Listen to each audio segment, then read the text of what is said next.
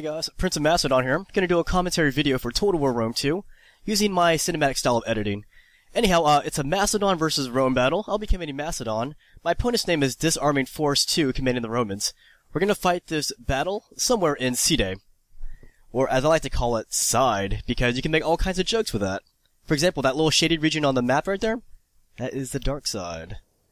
So here's the, the tactical overhead map. I'm yellow, and my opponent is red on that tactical overhead. We had a similar setup, putting our cav on both wings, and our infantry in the center, our skirmishers in the front. My army, I have two foot companions, two thorax pikes, four pikemen, two javelinmen, three mercenary Cretan archers, and four Thessalian cav. Half of my Thessalians having one experience upgrades. and again, I apologize for my voice. My voice is still a little bit shot right now. Here's my opponent's Roman army here. He has an army of plebeian style units for the most part, although he did add some extra stuff too. But he has one general and bodyguard unit, four equites, three auxiliary Syrian archers, four hastati, each having one experience upgrade each. Um, two principes with one experience, two additional principes with no experience, and four triarii. And that's a shot of my opponent's equite force right there. So it's a it's a nice looking um, uh, setup he has and it is uh it far outnumbers my my army. He has about 1980 troops. I have uh, 1650, something like that. But I'm gonna arrange my cav on the left. Those are my Cretan archers right there. So yeah, in contrast to his, um, I have a lot of uh, pike units. And I wanted to kick it old school with these pikes, that's why I decided to bring these guys. As you guys know, I like to switch up my armies every so often. Actually, pretty much every battle. Even if I'm using Macedon every battle, I like to switch up the army every time. So there's the tactical overhead. I'm starting to wrap around him, as you can see. Just a little bit, anyways. But I'm not going to wrap around any more than this. But I want my cav to be opposite his cav.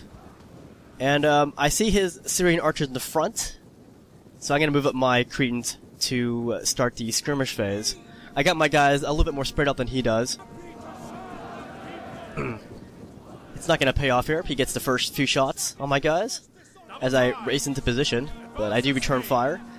In the back you can see him moving his cav out, but I pull my cav back out so he doesn't pursue. So the action on my right, his left, um, it's kind of belated. But the action will be right here with skirmish and also on the left flank, as you're going to see in a minute. That's the little skirmish phase. I'm on the left, he's on the right. So those are my, that's my pike force right there. Um, their pikes are not out at the moment though. But I'm sure you guys can see that. And the reason why I leave my, um, user interface on is so you can see the banners, that way you're less confused as to which units are which. And you can see the minimap too. So I pull my archers back as he moves his hastati in, and I put my javelins in the front. But I can start charging with my Thessalians against his uh, left wing of Equites, and I know if I get my charge in, I can have a pretty good chance of beating his Equite force. But he does have a lot of uh, sword units coming up behind. But meanwhile, in the center, my javelin are going to start harassing his hastati as they come forward. If they proceed anymore, my javelin will will fall back behind my phalanx. But yeah, as you can see, uh, he, his swords have joined the Equite fight. But I'm doing the same thing. I'm moving up my general and my, some other pikes to join this fight over here on the left. Uh, but meanwhile, my my Thessalians have pretty much are putting the finishing touches on his Equites, as you can see on the top left right there. His Equites are routing, so the charge was pretty uh, pretty dynamic on my part. And I'm getting my guys into uh, phalanx formation to confront his blade units, just to make sure they don't outflank me. He does have a few more uh, blades than I do. Than I than I do have uh, spears, so he can't outflank me. Which is why I'm going to use my cav to protect my the flanks of my phalanx. But I, I, I, was able to free up a unit of Thessalians after they, they beat their counterparts of Equites. So I took this unit of uh, Thessalians and went right for his general. His general just chilling back there. And I figure if I can take out this general, then it's gonna... It can only be bad for him, and only good for me. And again, I, I, got that good charge in. He wasn't even watching that part.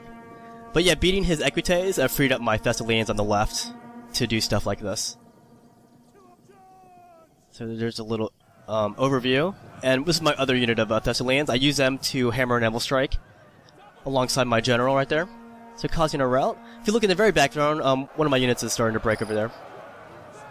But yeah, um, pretty much everywhere on the battlefield, like in the center, the battle's going my way because I, I have his guys going up against my phalanx from the front. But the action on the right's a little bit different. He has a lot more blades over here. I only have two pikes to slow him down. But I have these uh, reserve Thessalians to to help out in this situation. They can charge when he tries to outflank me. And I also have some uh, Cretan archers right there too. But all these guys are blobbed, as you can see. So if they're blobbed like that, then then I have a better chance of, of fighting him. And I'm keeping my my two units Phalanx type units uh, together. So that when, when he does come, um, I'm a lot more organized and um, doing some more charges on his back line with my the other half of my Thessalians. Took out that unit of archers, and I'm going for his general. And I actually do take out his general right here, as you, as you're going to see. But look at that big mass of Roman troops on the left. They're all blobbed, so he's not taking advantage of his numbers there. But that's me killing his general. So I finally destroy that unit of his, which means he doesn't have the general abilities to activate anymore. Whatever he had. And then I use that unit to uh, launch hammer nail strikes. Right there. So battle is definitely going my way, even if the balance bar doesn't uh, say that. I am winning this fight. But now I'm taking my, my extra units of Thessalians to uh, bash into his Romans. I see his guys are still blobbed, so I'm gonna I'm gonna continue him. I'm, I'm gonna continue to attack. I'm actually gonna um, pin his guys into position in a blob so that he can't unblob. That's what I meant to say. Sorry. And when he sees this, he quits. Yeah, I didn't want him to fix his mistake, so I just hemmed him in on purpose. And that would have given my, my other guys time to uh, join the fight over there.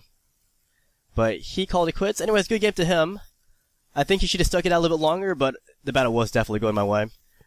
But good game to him regardless. Hope you guys enjoyed the cinematic battle involving my Macedonians against um, Disarming Forces 2's Disarming Force 2's uh, Romans.